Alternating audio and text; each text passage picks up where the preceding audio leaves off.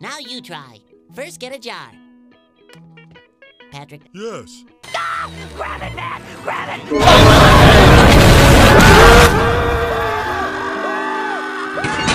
Are you SpongeBob SquarePants? Yes! Let's book him! Wow, you guys are good.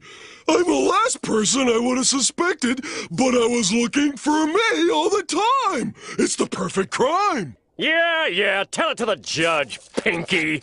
Oh no! Patrick's too sensitive for the big house!